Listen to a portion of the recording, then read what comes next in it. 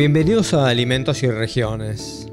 Estamos arribando a un periodo de definiciones que difícilmente hayan tenido la importancia que las próximas elecciones revisten para el país. Varias generaciones de ciudadanos somos testigos azorados de una decadencia a la que no le cabe ninguna explicación que pueda explicar la obstinación que manifestamos en hacernos daño. Como un pequeño apéndice de ello, vamos a hablar de la hidrovía, la logística y la relación con los países de la región, con dos personas que conocen el tema y apuntan a salir de nuestro pozo y hacerlo rápido. Vamos a conversar con Jorge Metz, que acumula experiencia en puertos y navegación como pocos, y con Gustavo Alonso, ingeniero naval y experto en navegación y puertos, y consultor en diferentes países.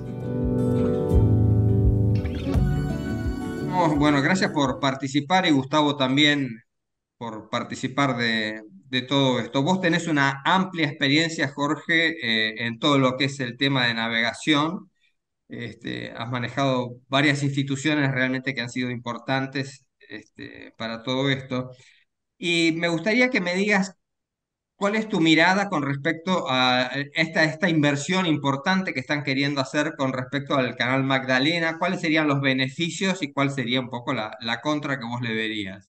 En primer lugar, eh, nosotros lo, lo, definimos en su momento como una obra de inutilidad pública, porque no, eh, eh, fuera de todas las cosas que la Argentina necesita, no es la más importante. Es cierto que la Argentina necesita de crecer sus exportaciones, de duplicar, triplicar, cuatriplicar sus exportaciones para salvarse de esta catástrofe, de este colapso en el que estamos transitando. Pero pará, pará, pero, pero eh, tenés que hacer las acciones, tienen que ser coordinadas. O sea, este, este canal eh, eh, aparece hace unos tiempos, yo te digo, yo recuerdo, empieza en el 90 con el capitán Pelicetti que planteaba el dragado del canal Magdalena más una obra de, de una isla en el medio del Río de la Plata. Y todo era una, obra de 1.400 millones que de alguna manera querían hacer los estudios de factibilidad técnica económica y, el financiamiento exterior. Y por supuesto que empezamos a, debatir a que, a que, no era necesario en los 90. Después aparece Tetamanti, tomando las palabras de, de Pericetti y planteando esto y que nosotros dijimos que, estamos, que, estamos, que está equivocado en su momento y dimos de baja en el, en el 2015, apenas asumimos, fue lo primero que dimos de baja. Pero Fundamentalmente lo que aparece hoy es un colectivo de gente reclamando por una obra de, dragado eh, en un lugar eh, que, esto es lo que hay que saber. O sea, es, ese es un lugar, para que la gente lo entienda, es, es, un lugar en el medio del mar eh, que, no le, primero no le sirve a nadie, que no tiene cuestiones de soberanía, porque la soberanía está en las dos y las siete millas de cada lado de, de Uruguay o Argentina. Esto es una zona común. Entonces, aparece un, colectivo reclamando una obra que, que no va a ser balizada, que no se va a navegar, que tampoco va a ser controlada en batimetrías. Entonces vos decís, ¿para qué sirve esto? Y si además vas a tener que seguir eh, con el dragado del, canal Punta Indio, porque es el canal más rápido, más eficiente, eh, el, más, el que te acerca más a la producción, el que tiene menos, eh, el, que tiene menos complicaciones y que ya ha sido estudiado en los últimos 28 años, y me parece que, están equivocados. Es una, es una defensa de, un grupo de farsantes que, que hoy están saliendo con un, con un kayak a, navegar en contra del río, en, contra de la corriente del río Paraná. Locura, ¿no? Pero decime, eh, ellos hablan mucho del aspecto eh, soberano, como diciendo nos estamos como sometiendo un poco a la autoridad uruguaya. Este, ¿Tiene sentido en este mundo global estar hablando de una soberanía semejante? Tal cual. A ver, además es una, es una mentira, es una charlatanería, es una falsedad. O sea, primero, eh, eh, la navegación del Río de la Plata, después de mucho de pelota, acordate cuando la Argentina, antes de Perón, eh, se, llegó a, se llegó a debatir de que el límite de la soberanía del Río de la Plata Argentina era la playa de Montevideo, o sea que Montevideo no tenía agua. De ese punto logramos consensuar los intereses en un tratado que fue en, la época de Perón, y estos muchachos ahora plantean como que, imagínate que, que nosotros en la, en la, época que yo empecé a navegar, en los 80, los 90, y si, si nosotros íbamos por el río eh, en, una zona de soberanía de otro país, cobrábamos eh, viáticos, cobramos, es una estupidez, o sea, esto, esto no, lo, no lo puede creer nadie, lo que pasa es que está bueno porque dice pasa próximo a Montevideo, claro, pasa próximo a Montevideo porque son siete millas, la, soberanía de, de Uruguay es, son escasas las 7 millas, el resto es una zona común navegable y que no le tenés que pedir autorización a nadie más que a la Argentina. No va a haber eh, distintas autoridades que manejan el tráfico, no va a haber las dos prefecturas, no va a haber una tercera, no va a haber otras agencias marítimas, no va a haber otros buques de bandera que navegan al río. Es, una, es un verso que, está bien preparado y que hay que, hay que de, todos los días discutirlo eh, paso por paso para que la gente lo entienda, porque la gente no entiende estas cosas. Gustavo, desde Brasilia, creo que estás en Brasilia en este momento, ¿no es cierto? Sí, buen día a todos. Eh, estoy cerca de Brasilia, sí, estoy cercano a Brasilia haciendo algunos trabajos por aquí. Decime, Gustavo, eh, también con tu vastísima experiencia en, aspectos logísticos y todo esto, ¿cómo ves que la Argentina está encarando eh, ese, ese, crecimiento y esa articulación que todos le, estamos pidiendo a los países, ¿no? De integración, de crecimiento eh, inteligente, distributivo, que tenga, que tenga un sentido lógico, ¿no? Mucho más allá de los intereses sectoriales. ¿Cómo lo estás viendo un poco vos el armado de todo esto?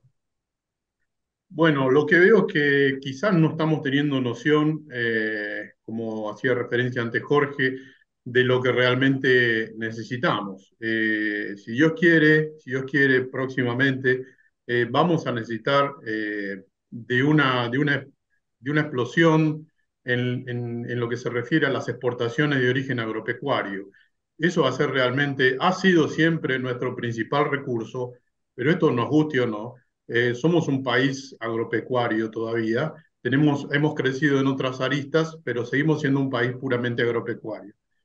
Eh, creo que no estamos todavía conscientes de lo que se necesitaría si fácilmente podríamos duplicar en, el término de dos o tres años eh, o hasta cuatro años las exportaciones de origen agropecuario. Realmente el sistema no aguantaría, esto no, no, no, no aguanta. Necesitamos una coordinación que no es solamente eh, de nuestros puertos, sino que es absolutamente regional. Esto rebasaría, eh, rebasaría la prosperidad, rebasaría la logística para otros puertos de la región, como una matriz logística, principalmente en lo que es la hidrovía Paraguay-Paraná y el complejo Río de la Plata, incluso Bahía Blanca, que en todo el sur de la provincia de Buenos Aires, todo eso este, estaría al 150%. Necesitaríamos muchísimos recursos.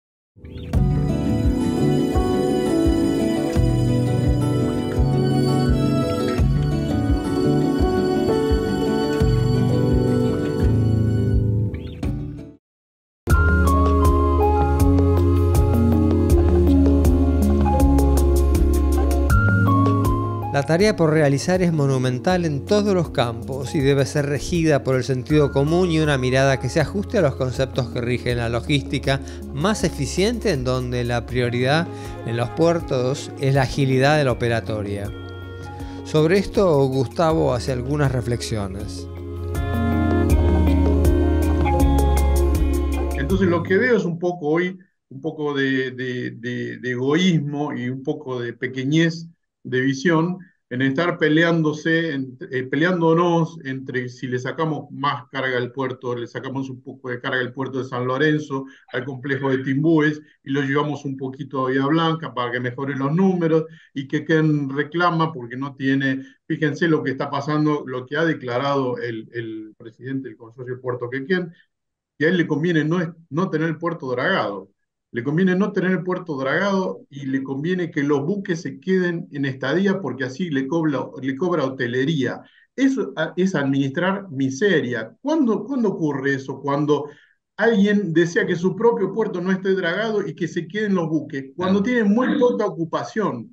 Cuando están los grillos, escuchan los grillitos haciendo cri cri en el puerto porque no tiene actividad, uno dice, cuando llega un buque que se quede dos semanas, así le cobro hotelería, todos los mm. servicios de amarre, los servicios portuarios, así le saco bien el es Eso es una mentalidad totalmente pequeña. Es decir, Claro, el eh, porque problema el- de eso es que no hemos crecido, no tenemos ocupación de muelles, no tenemos trading, no tenemos este, embarque y desembarque de mercaderías, entonces estamos queriéndole cobrar el estacionamiento a un buque.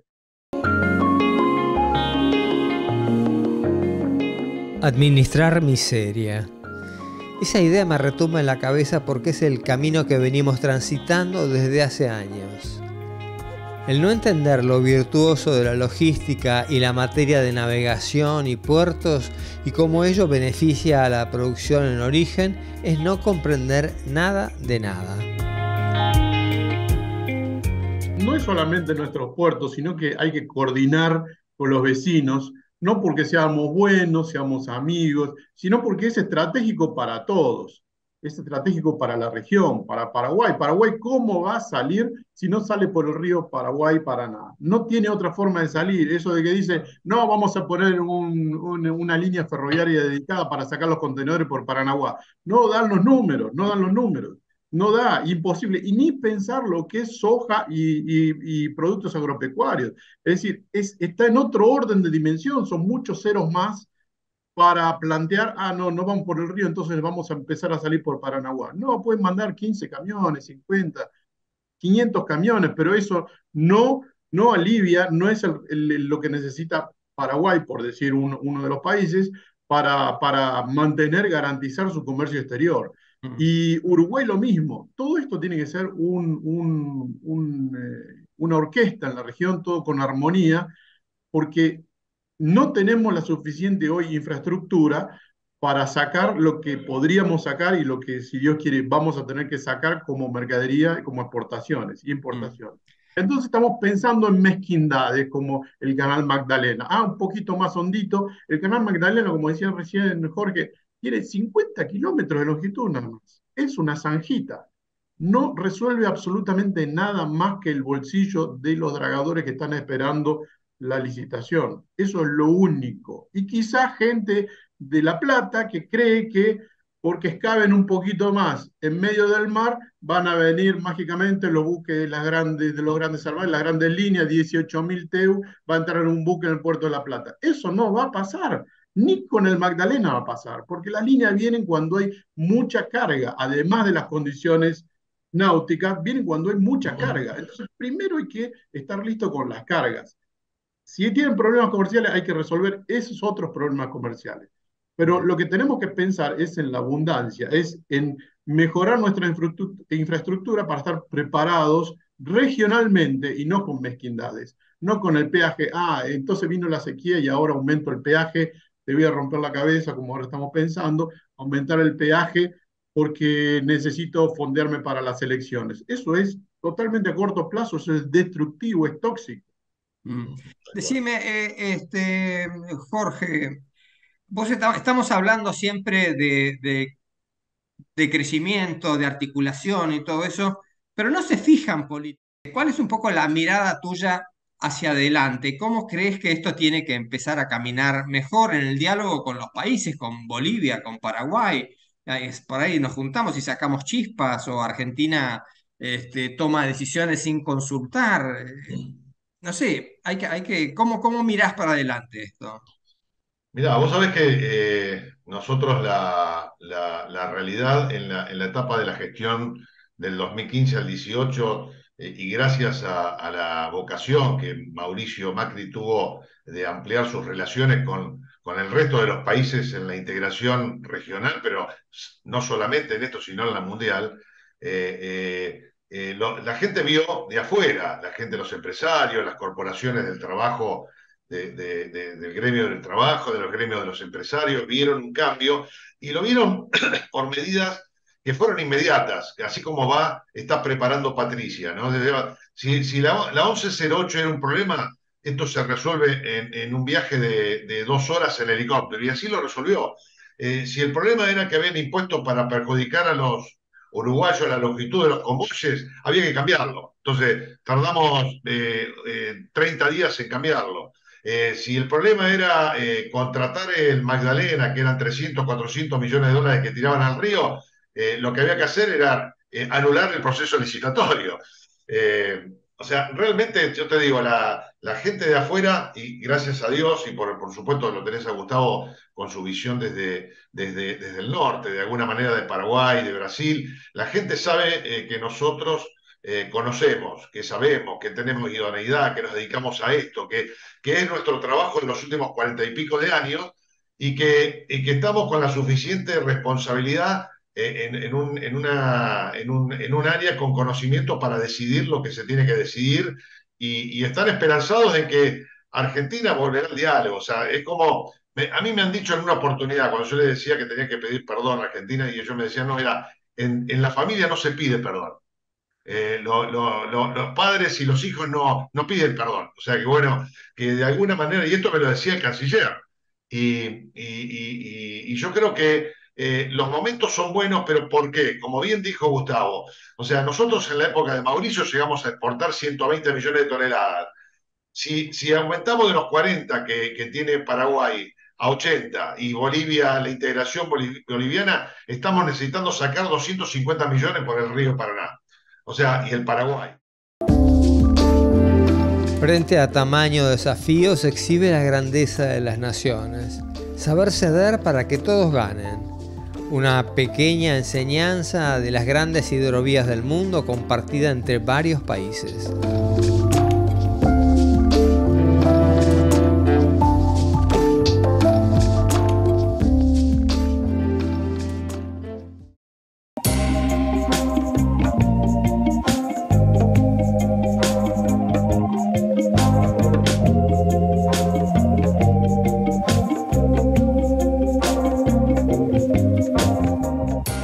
Se han despertado posibilidades riquísimas que la naturaleza nos brinda, como lo es vaca muerta, el litio, minerales. Todas esas producciones requieren planificación, prestación de servicios calificados y tecnología.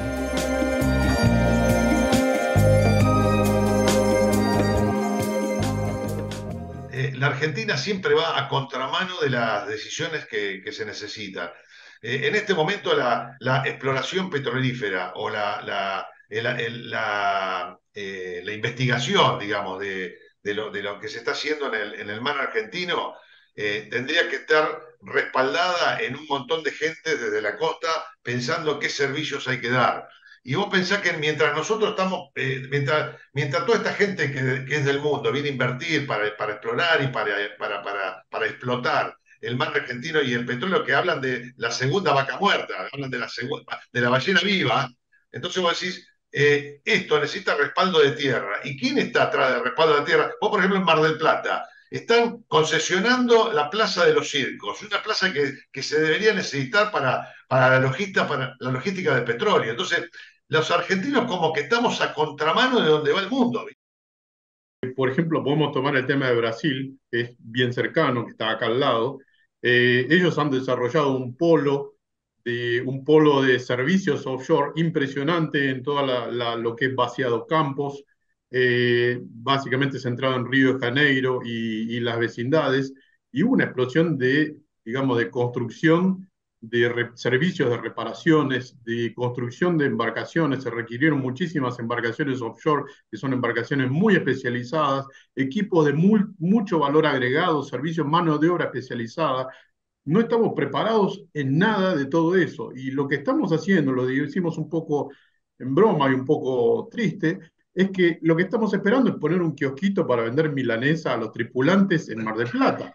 Estamos totalmente fuera fuera del foco, no tenemos ni idea de lo que una exploración offshore va a demandar en sea en Mar del Plata, en San Clemente, en la costa bonaerense, digamos, en cualquier lugar, que ojalá se dé y muy rápidamente, no tenemos ni la menor idea de lo que demanda eso.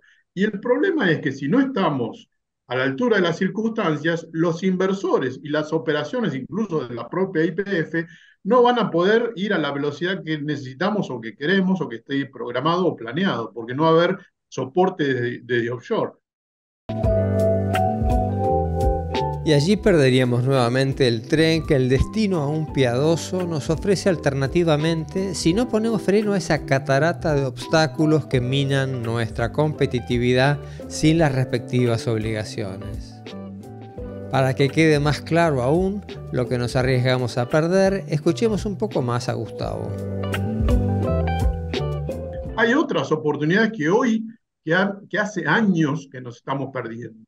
En el año 95, 96, la mayor flota de la hidrovía era de bandera argentina y en ese momento se estaban transportando más o menos 2 millones de toneladas de mineral de hierro y todo eso se transportaba desde Corumbá, desde las minas de Brasil, en, en embarcaciones, en convoyes de bandera argentina. Descargaban prácticamente todo en San Nicolás. Hoy no hay una sola barcaza de bandera argentina que esté transportando mineral de hierro. Eso eran convoyes argentinos, remolcadores argentinos, barcazas argentinas, tripulantes argentinos. Todo eso desapareció y se fue a bandera paraguaya por nuestra inutilidad, por nuestra pésima gestión. Ese mismo, esa misma producción de mineral de hierro eh, eh, se está pensando hoy llevarla a unos 6, 7, 8, hasta 10 millones de toneladas por año que Brasil exportaría hacia China a través de la hidrovía eh, Paraguay-Paraná. Todas esas oportunidades las estamos perdiendo porque no aprendemos, porque seguimos cometiendo los mismos errores. Bolivia también, del lado boliviano, en la frontera con Brasil, allá en Corumba, Bolivia tiene una mina de muy alta calidad de mineral de hierro y todavía no resolvió su logística, que tiene que ser sí o sí por el río, no tiene forma de sacar mineral de hierro por tren, no funciona, eso no existe. Eh, y mucho menos en esas cantidades. Toda esa oportunidad la estamos perdiendo. Lo mismo que Paraguay. Paraguay estamos preocupados por imponer peajes eh, totalmente extemporáneos y en, procedimientos muy totalmente desprolijos. Eh, incluso el cabotaje, nos perdemos oportunidades. Hemos cerrado Puerto Vilelas en, en el Chaco porque no sabemos dragar, no mantuvimos el riacho Barranquera cerraron, dejaron de circular las líneas de, los buques tanques de combustible que llevaban el gasoil y las naftas, producto terminado a Puerto Vilela para redistribuir en el NEA, eso no existe más y, los, esos buques se fueron a bandera paraguaya. ¿Por qué? Porque se abandonó el Riacho Barranquera. Pero todo tiene una explicación. Parece que el gobernador Capitanich tiene un interés muy particular en un puertito nuevo, Las Palmas, que se hizo para él un poquito más arriba, más cerca de Asunción. Entonces nos manejamos con mezquindades. Barranquera tranquilamente podría exportar a través del río Alto Paraná a Brasil, entrando por Iguazú. Tranquilamente eso se podría hacer con, barcazas de bandera argentina. Lo mismo lo, que está tratando de hacer misiones a través del puerto Posadas, eh, que hay que desarrollar muchísimo las cargas. Y Reconquista, Reconquista tenía un cabotaje muy importante, lo mismo que Diamante, el cabotaje que todo ese cabotaje no se puede hacer porque no hay barcazas de bandera argentina. ¿Qué estamos esperando mientras nos devora una matriz de corrupción que afecta las licitaciones, las obras y las propias gestiones cotidianas, tal como han puesto en evidencia periodistas de diferentes medios y la propia Procuraduría de Investigaciones Administrativas? Esta matriz no es nueva, lleva las mismas décadas que la decadencia de nuestro país y ya no hay tiempo que perder. Hay que actuar caiga quien caiga porque la corrupción no tiene partido, solo tiene voracidad y grandes bolsillos.